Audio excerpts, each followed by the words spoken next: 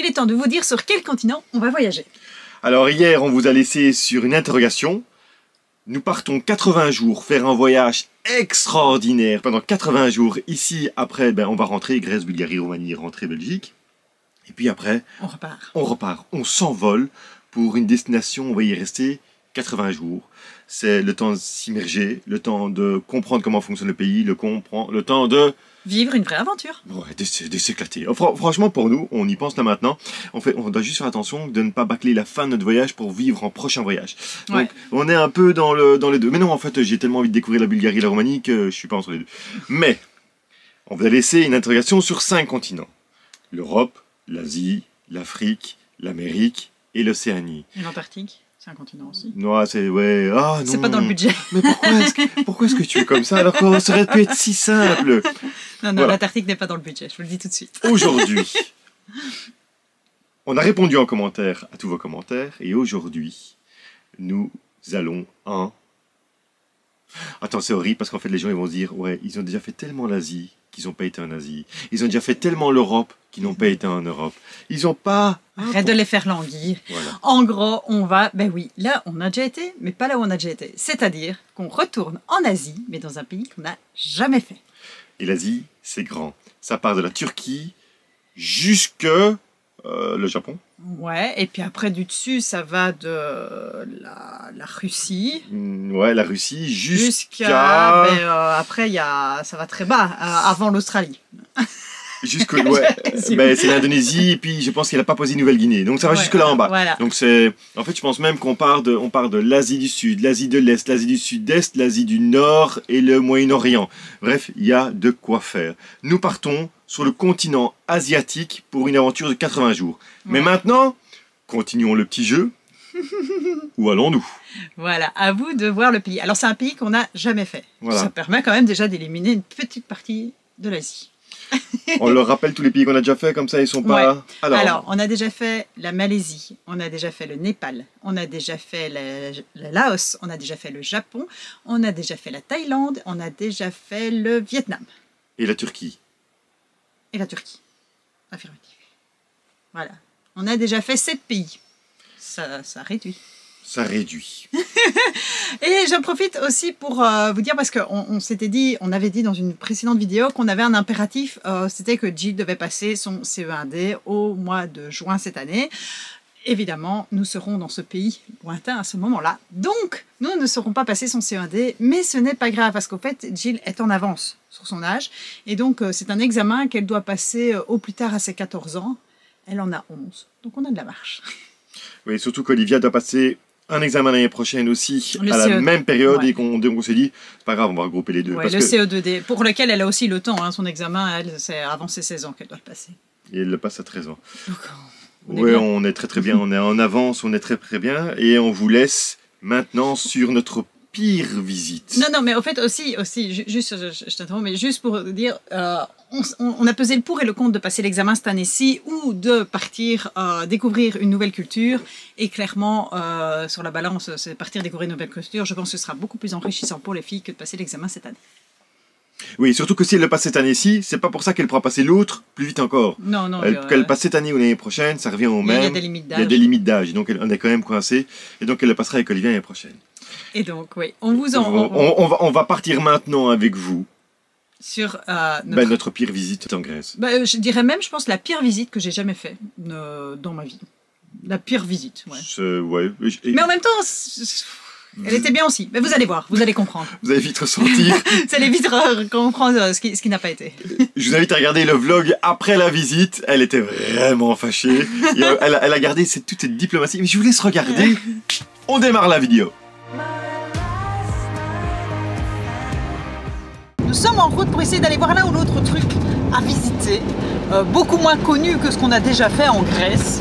Ici, on va en direction des grottes. Alors, vous voyez, j'ai ressorti le pull parce que, euh, ouais, de nouveau, il pleut, il refait froid. Euh, J'espère qu'on n'aura pas trop froid dans la grotte. Voilà, et je sais, je sais même pas si on sera bien la visiter parce que comme on est hors saison, que c'est un lieu pas touristique, pas sûr que c'est ouvert. Et donc voilà, comme ça, on va essayer de montrer l'intérieur d'une grotte aux filles. Alors évidemment, les grandes en ont déjà vu, euh, mais les petites beaucoup moins. Une vraie grotte avec des, des stalactites, des stalagmites. Voilà, c'est l'occasion d'aller un peu se balader là-dedans, qui paraît qu'elle est, quand même chouette, parce qu'elle bon, n'est pas très touristique, mais elle est quand même euh, notée sur Google comme 4,9, et je pense qu'il y a plus de 2... C'était combien j'avais dit? 2000 avis. 2000 avis, donc enfin bref... euh, voilà, a a priori, on ne peut pas se tromper. Alors, pour être précis, ce sont les grottes d'Alistratis. Alistratis Cave. Alors, ici, dans cette région-ci, il y a euh, pas mal de rivières et de rivières souterraines et des grottes. Donc, euh, voilà, on, il y en a, on a choisi celle-là parce qu'elle était pas loin du spot où on était, mais il y en a d'autres dans la région. Donc, euh, voilà, si vous venez par ici. Oh, elles sont trop belles, les petites chèvres. Regarde comme elles sont mignonnes.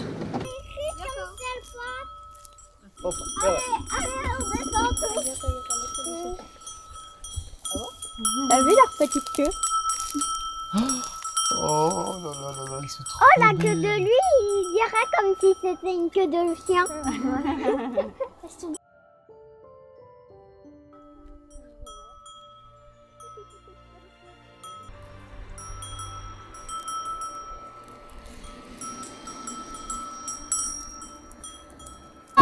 Ja. En bij to En goodbye to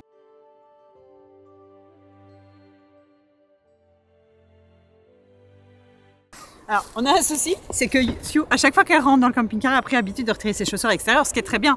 Mais en fait, elle les baigne sous le camping-car et on a déjà perdu, je pense, euh, deux crocs comme ça. Euh, une crocs ou une chaussure, et une chaussure, je pense plutôt. Et donc voilà, en fait, elle les abandonne chaque fois, donc on doit toujours vérifier derrière. Et on lui dit hein, tous les jours, je lui répète 20 fois par jour, reprends tes bottes, mets-les dans le camping-car, mais euh, c'est toujours pas rentré. Alors ça a l'air d'être quand même euh, l'endroit euh, hyper touristique à mon avis en été. Il y a même un petit train et donc euh, a priori la visite dure une heure avec un guide. Donc on va découvrir tout ça. Évidemment Benoît est retourné euh, 20 fois au camping-car vérifier que tout était fermé, voir s'il avait pris la bonne veste, pas la bonne veste. Il paraît qu'il fait 17 degrés à l'intérieur donc normalement on ne devrait pas avoir trop froid. Et on va aller chercher les tickets d'entrée. Alors j'espère qu'on ne paye pas pour les enfants parce que sinon ça monte très très vite. hein. Nous euh, à 6 si on doit tous payer le billet d'entrée.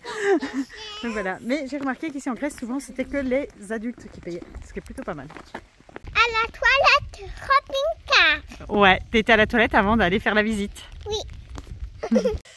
Ça y est, on a payé. Alors, finalement, les enfants payent ici, mais que les deux plus grandes, c'est 3 euros. Et nous, les adultes, normalement, c'est 8 euros. Mais comme on est une famille nombreuse, on paye moitié prix 4 euros. Bref, tout ça nous fait 14 euros pour la visite d'une heure des grottes. Et euh, par contre, de nouveau, comme on avait déjà eu euh, au musée de cire au début de la Grèce, euh, ici, on ne peut pas filmer ni photographier dans la grotte.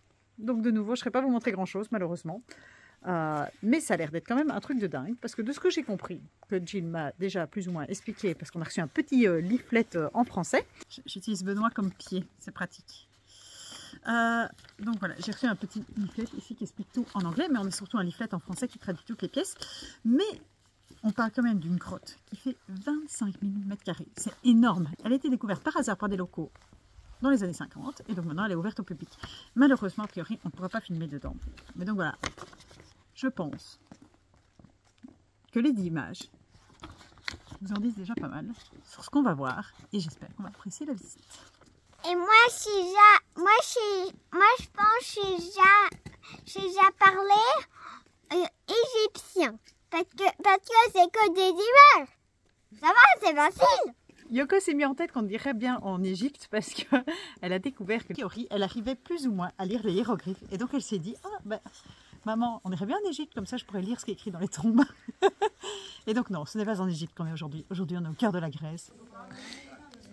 Vous êtes mignons.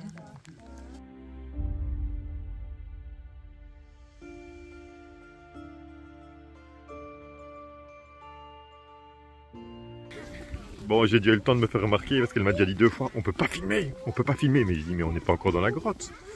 Voilà, elle est un petit peu plus loin. Ouais, c'est elle là-bas, la madame. La madame en rouge. Ouais. Bon, ben voilà. Oui, elle respire la joie de vivre. Je vais ranger maintenant mon appareil photo et je vous dis à tout à l'heure. Je vais vous faire un compte rendu plus en détail euh, dans le camping-car. Je viens de vivre une expérience hors du commun. Euh, en deux mots, vraiment en très deux mots, après je vais vous expliquer pourquoi. Un endroit exceptionnel et la pire visite de ma vie. Attends, laisse passer les chaussures, on revient rentrer on peut se tromper. Mais c'est polaire dessus. Mais non, c'est bon, il y a pas. Ok, pour le projet fait. Non, non, mais t'es pas votre polar, allez, sortez de là. Allez, chou. Voilà, ça a l'air même. Est-ce qu'on peut avoir un cacao, s'il vous plaît? Deux secondes. 1, 2, 3. Et on a même réussi à S'exfiltrer. de la boutique souvenir. Ah, ouais. Heureusement, on est passé après notre famille, enfin après un autre couple qui, euh, lui, il s'est fait choper à la boutique souvenir et nous, on a réussi à passer. Ah ouais, je, je vais aux toilettes, je me remets de mes émotions et puis je vous explique pourquoi euh, un très bel endroit et la pire visite de ma vie. Voilà, euh, pour faire court. Ah, je m'installe. Bon, j'ai qu'une barre de batterie, donc j'espère que ça va tenir le coup euh, le temps de mon vlog. En gros, cet endroit, il est exceptionnel. Je n'ai, j'ai déjà visité quand même pas mal de grottes, dont notamment à des endroits un peu farfelus, comme euh, dans la baie d'Alang au Vietnam. On avait visité une grotte avec Benoît. J'ai visité des grottes sur des canaux, j'ai visité des grottes en marchant. Cette grotte-ci est exceptionnelle. Je n'ai jamais vu une aussi grande grotte où on a vraiment autant d'espace. On a à l'intérieur, il y a des stalactites et des stalagmites de toutes les sortes, des sortes qui sont même rares ici en Grèce euh, ou qui sont même rares en Europe. Donc vraiment, cette grotte, elle vaut le voyage. Elle est, c'est génial. On est au cœur de la terre. Cette grotte a été découverte par les hommes que récemment, que dans les années 50. Donc elle n'a pas été euh, abîmée par, euh, par les hommes. Il y a juste ce chemin en béton qu'on suit avec les petites lampes, qu'on suit le trajet. Donc oui, cette grotte, super. Pire visite de notre vie, je n'ai jamais vu ça. Euh, en gros, on a payé et on a, en fait, cette, cette grotte se visite d'office avec un guide. Ah, j'ai plus de batterie. J'ai changé de batterie comme ça. Je suis sûre que j'ai le vlog en entier. Nouvelle batterie, c'est reparti pour la suite du vlog. Donc, en gros, cette visite, ça se présentait comment? C'est, euh, on a une heure de visite. Ça, c'est le timing qui a annoncé. Et on a un petit leaflet en français qui nous explique un peu euh, ce qu'on va voir dans les pièces. Et la dame, la, guide, nous dit dès le début, bah, vous parlez quelle langue? On dit qu'on parle aussi anglais. Il y a notre famille euh, allemande qui est là, qui parle également anglais. Donc elle dit, bon, je dois le mettre en deux langues. On arrive, première étape, on a un robot. Et donc on se dit, oh, ben, voilà, c'est chouette. Robot qui commence à faire la visite en anglais et en grec.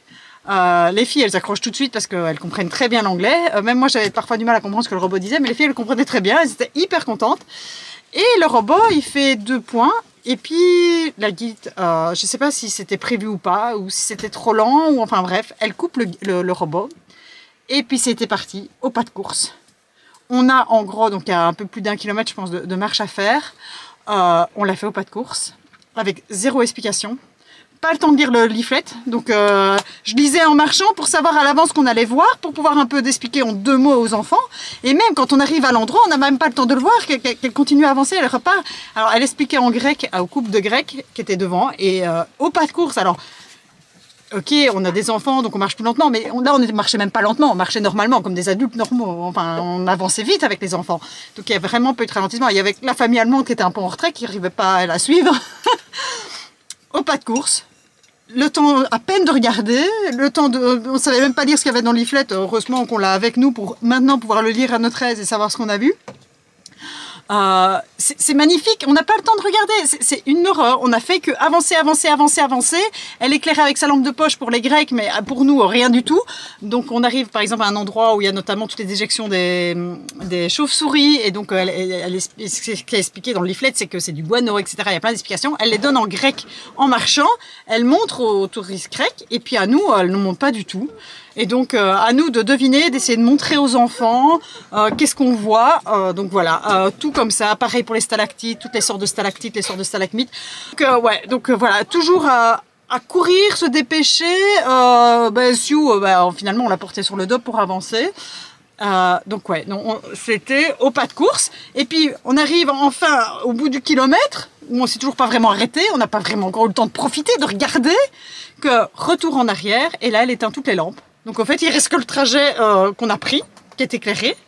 Et donc en fait même si on se dit ben c'est pas grave on va regarder au retour, on va un peu plus profiter, on ne sait pas profiter. Donc en fait même au retour on n'a pas su regarder ce qu'il y avait parce que toutes les lampes ont été éteintes. Alors elle nous explique à la fin, parce que je pense qu'elle a compris qu'on était un peu agacé par euh, cette visite qui ne ressemblait pas à une visite, que c'était n'importe quoi, euh, qu'elle explique, oui, mais les lampes sous les laisse trop allumées, ça, ça met de la moisissure, etc., ça met du verre, de, de- voilà, ça risque d'abîmer.